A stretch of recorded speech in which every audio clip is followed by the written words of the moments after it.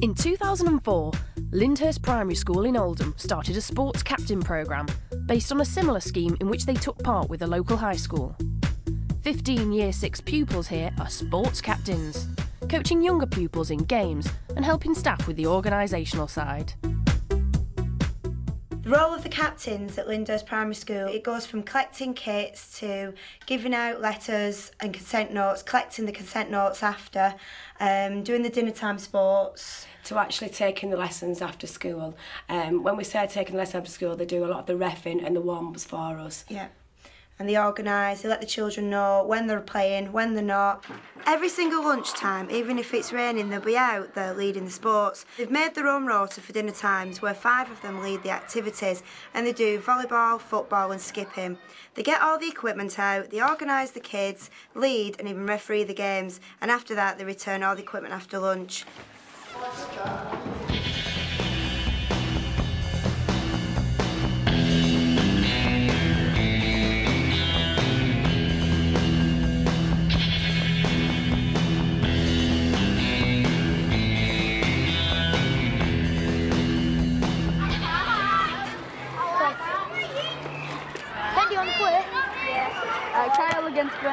Brent and Josh then. Brent and Josh can get a band on.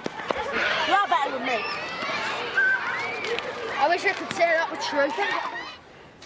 We believe um, very much in educating the whole child. We believe in healthy bodies as well as healthy minds. And I think it's, uh, it's fair to say that children certainly don't get as much exercise now in uh, the modern age of technology than uh, did I think when, uh, you know, when they were a lot more active and playing out. Bands ball. We expect the children to be able to transfer their achievements in this project into other, other areas of their learning, both inside and outside of school. Um, one of the main areas is for children to be able to take responsibility for themselves, for their learning and for their conduct.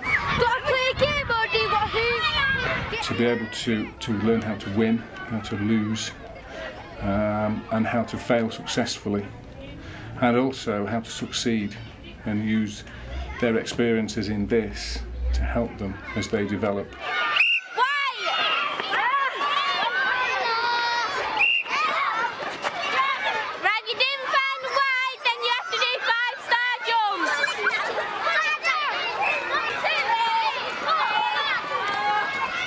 There's a big push for sports at Lyndhurst because we like, we like it so much.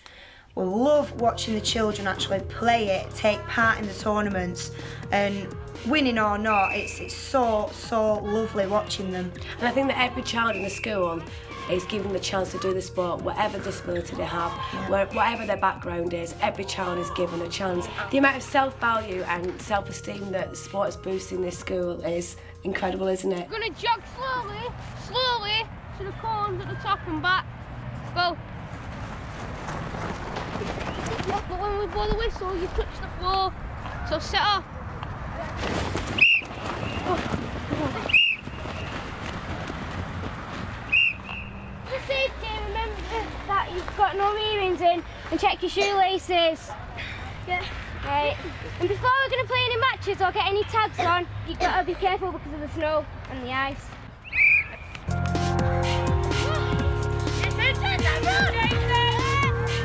Although they mentor and manage the sports captains, organise sporting events and take after school games, Karen and Donna aren't actually teachers. Karen is a learning mentor and Donna is a special needs support assistant. Along with other classroom support assistants from the school, they do it simply because they love it. Brilliant! Fantastic tonight! That's too good, lad! Brilliant, The thing that makes sports such a success at Lyndhurst is the commitment by the team of people. You're going to go under your partner's legs and run round that way until you get to your partner. When you get back, you're going to jump back on the... Do you all understand? Yeah! You got any questions? No!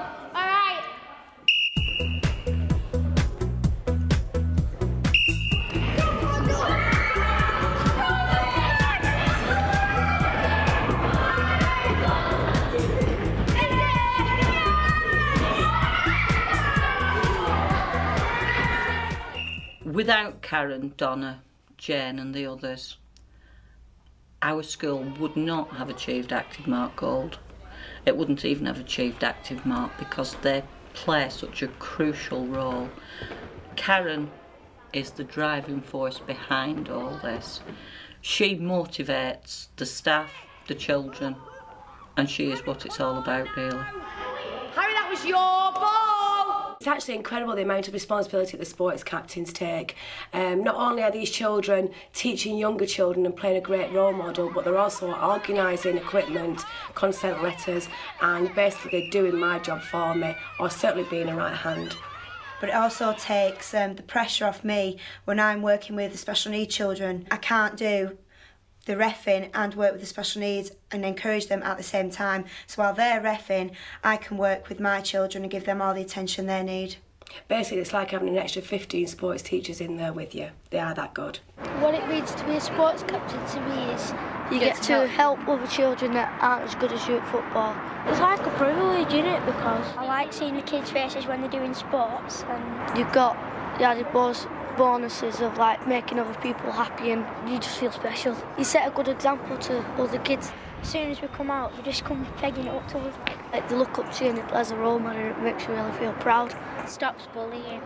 If they've got um, differences either in their appearances or they've got medical problems or something, and other people won't play with them. And just sat there like looking upset, we'll always go and ask them if they want to play or if they want to do anything else. And since this activity's been coming in, um, they've all they've started joining in in games and not feeling left out and made friends. A lot of people in the school want this badge, so I feel privileged to have one. The qualities we look for in our sports captains when we're choosing is we do choose them very carefully. Really, we do have to have children that love sport and are very enthusiastic at sport. Um, but also, we're looking for children who are responsible, um, who we know will play a really good role model later on. And also, children who we feel have quite strong characters who can cope with children who may be a little bit difficult. And good at sport. Really, it's quite important to be good at sport um, because again the children are watching them.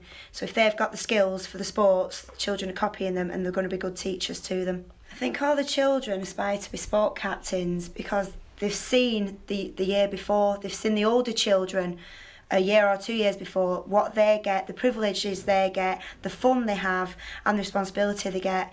And you can see them we can see them now in year five they can't wait to be i wish i was a sports captain I wish I was a sports captain. I wish I was a sports captain. I wish I was Mrs. Seth's daughter and a sports captain.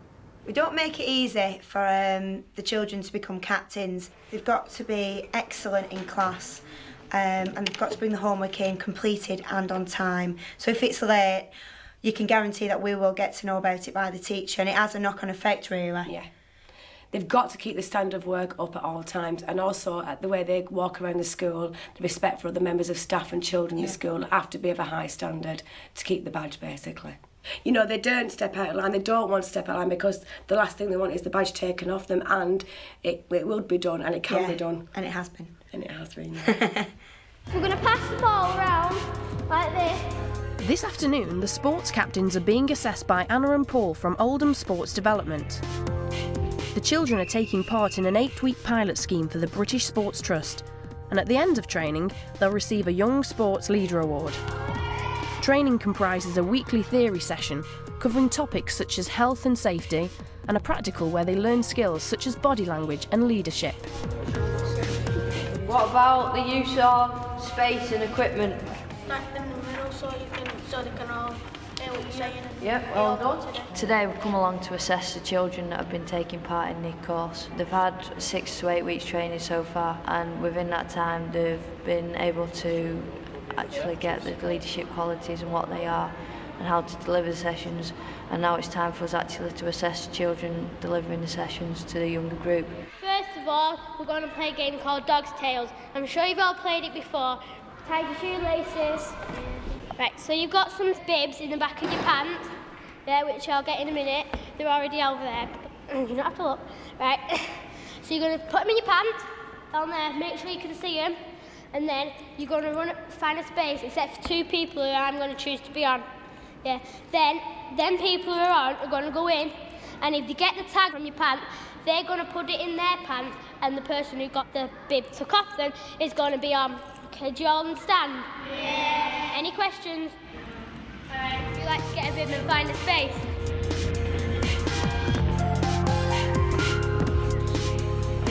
Space all over here as well.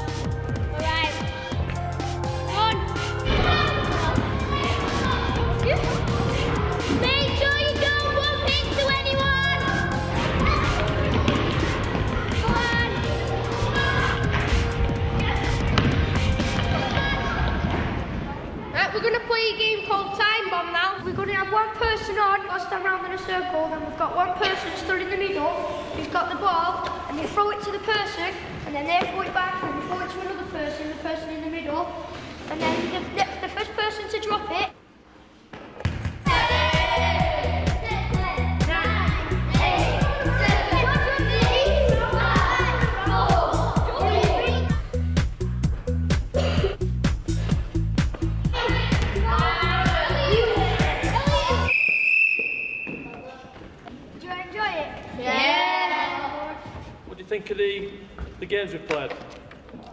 Good. Did you understand how to do them? Yeah.